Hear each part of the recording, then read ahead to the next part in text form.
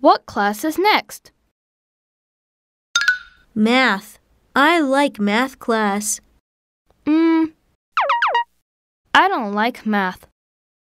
What's your favorite subject? My favorite subject is PE. I like playing sports. I like basketball. I play basketball every day.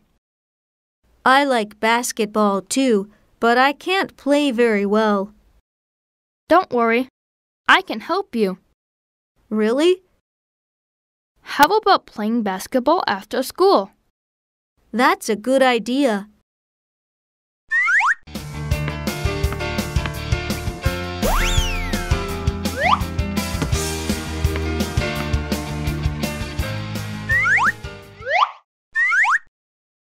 That was a great time. Thank you, Jinsu.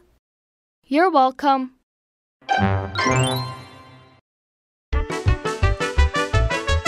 Let's role